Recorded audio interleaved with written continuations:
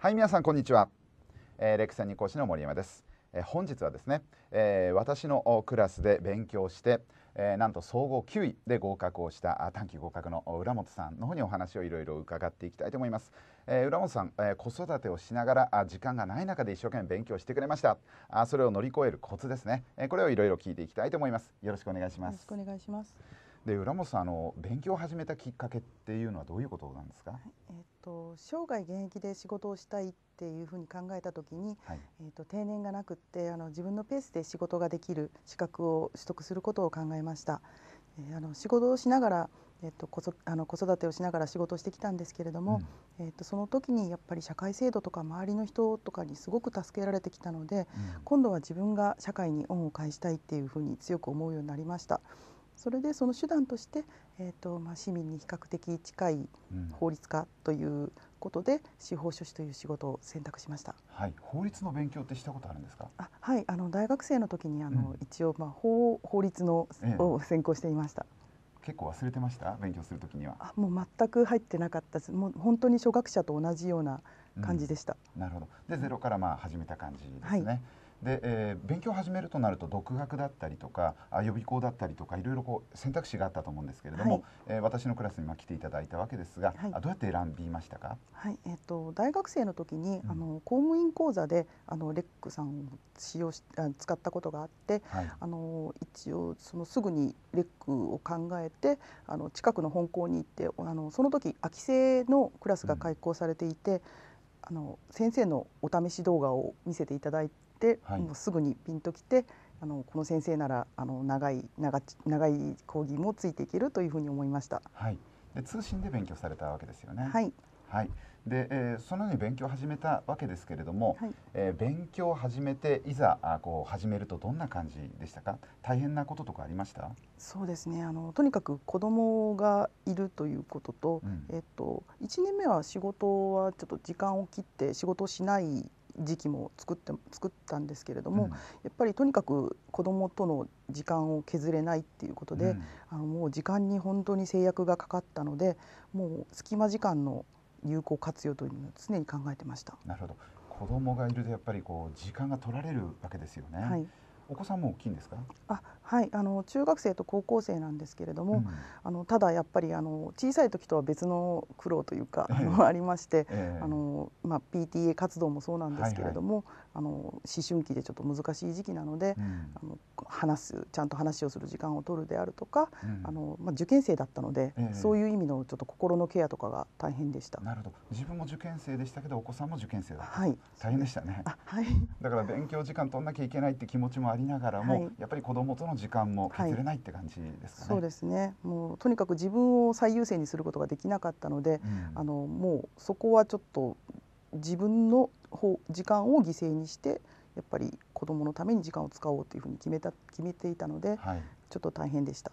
でその時間がない中で勉強するコツみたいなものを聞きたいと思うんですが、はい、やっぱりこう子育てしている方はあその中学生ぐらいの方もそうだしあとはもう小さい赤ちゃんなんかの方もやっぱり時間が取られるのは一緒ですよね、はい、でそういう中でどのように勉強されたのか。先ほど隙間時間という話がありましたけれども、はい、えー、通信にされたのもそれが理由ですか？夜家を空けることが難しかったのであのそれで自分の隙間の時間を使ってできるようにあの1.5倍速でずっと講義は聞いてたんですけれども、うん、あのそのあたり時間の融通が非常に効くということで通信講座を選びました。なるほど。夜聞いてたんですか？あはい。お子さんが寝た後。そうですね。あの通信を受けてた時はもう夜子供が寝た後に、うん、あの1.5倍速でもう時間をバーッとあの短縮して聞いてました、うん、復習はいつしてましたか？復習はもう子供のいない日中に、うんあのしてたんですけれども、うん、あの先生があのおっしゃったことをもう1.5倍速で全部メモを取って、その後にあの自分でそのフリクションで書いてたんですけど、えー、あのそれを全部消してあの自分でまた自分の言葉で書き直すことで、うん、あの理解をすごく深めて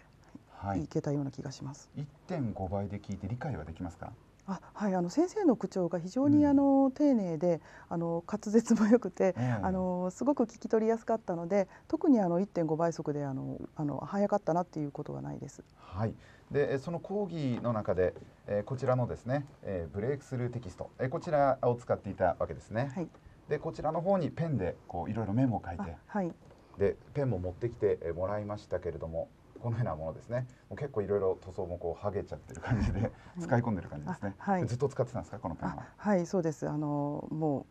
う太太いグリップが好きだったので、ええ、あの3色でも青であのなんか青ペン学習法とかいう本を読んで青がいいって聞いたので、え、全部青でメモをするようにしてました。で講義中になるべく喋ったことはメモをすると。はいあの、うん、ほとんどもうその場で理解できなくてもとりあえず後で見返せるように先生がおっしゃったことはすべてメモしてました。はい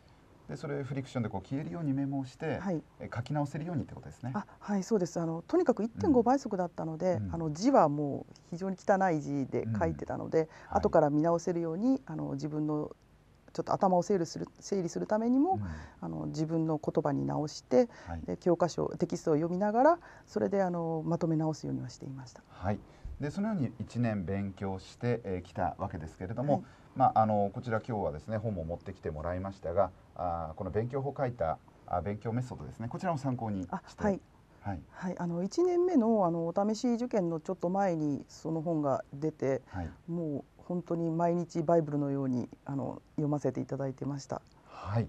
でそれをまあこれこちらもフリクション使って書いたというふうに書いてありましたしね。はい、はい、そうです。真似して勉強したということですね。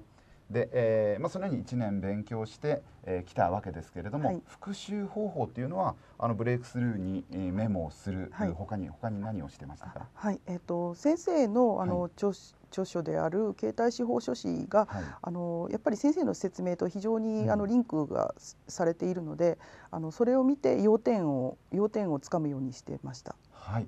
でそれはもう隙間時間に何回も見た感じですか？はい、そうです。ね。はい。で過去問とかしました？合格ゾーンとかは。そうですね。過去問はあの先生があの指定してくださった範囲であの、はい、過去問をその範囲の中の過去問をまず1回目しうん、してであの後からあのもう完全に講義が終わった後にまた回していくというような形で使ってました。30年分全部ですか？あそうです。あすごいですね。はい、はい、でそれで直前期を迎えましたと、はい、で1年目の最後の模擬テストとか、はい、ファイナル答練とかの成績とか手応えはどんな感じでした？あもう1年目はとにかく記述式を書き切ることすらままならなくて、うんうん、あのもし、えっと、ファイナル編まではあの本当に記述を最後まで書き切ることができなかったので、うん、あの択一はまあそこそこ取れてたんですけれども、はい、もう判定は常に C とか D とかで、あの最後まで書き切ったれるようになったのが公開模試から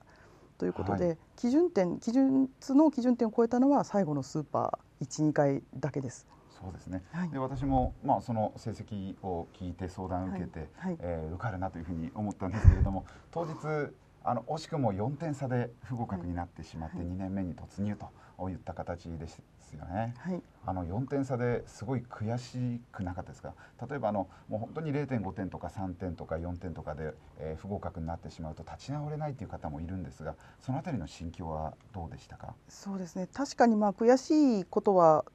思いはあったんですけれども、うん、あの記述の対策がもうあの結局時間がなかったこともあって、うん、3月のもう通信通信の、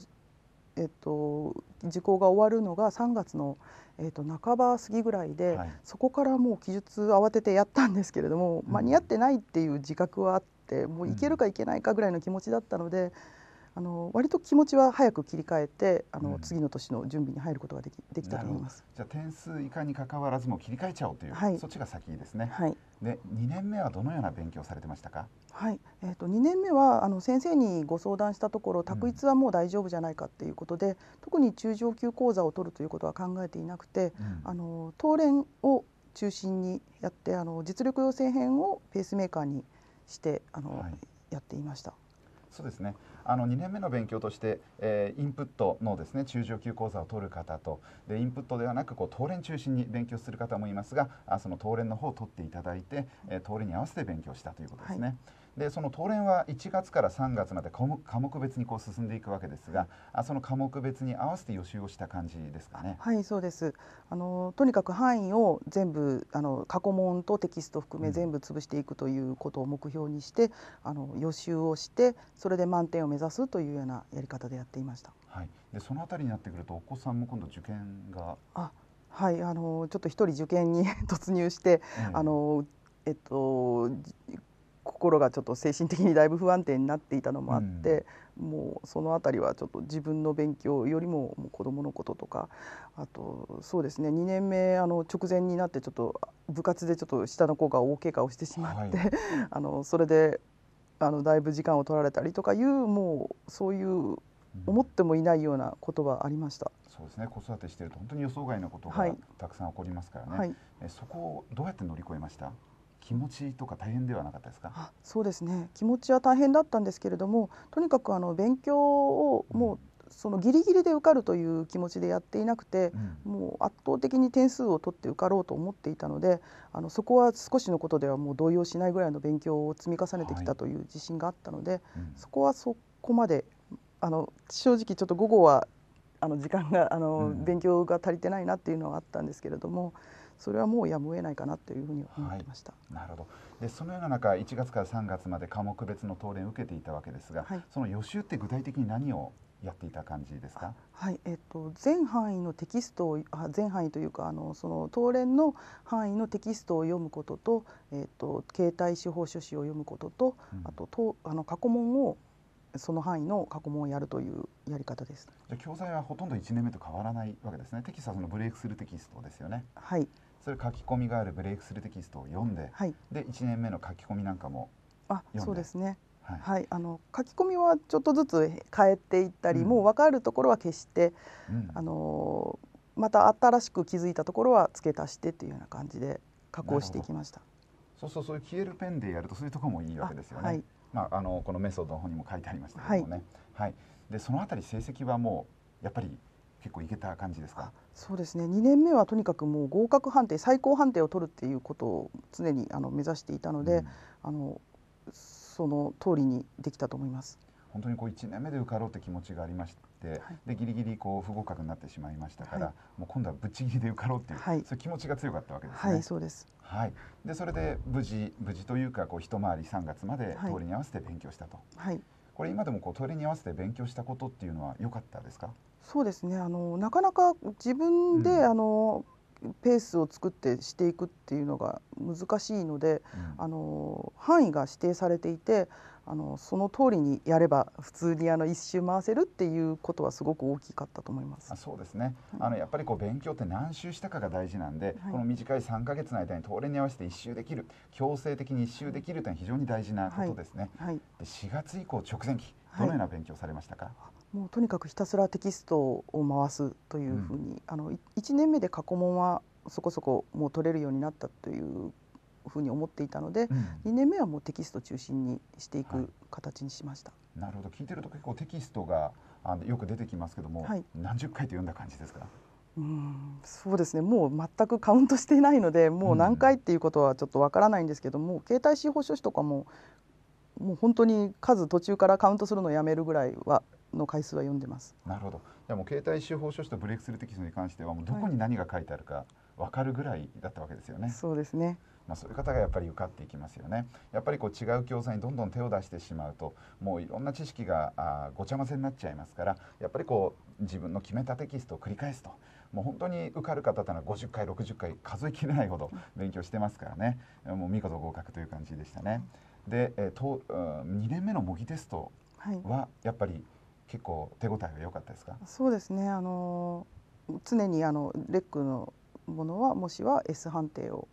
取れるぐらいにはなってました。はい、で当日試験当日ですけれども緊張とかはしました、はい、あはいあの緊張はしていたんですけれどもあの模試であの先生がよくあの講義中におっしゃってたんですけど模試はあの本番と同じように受けるようにということで、うん、あのはい、時間の配分とかあと時解く順番とか、あと昼休みの過ごし方であるとかもう何回もシミュレーションを繰り返していたので、うん、特にあの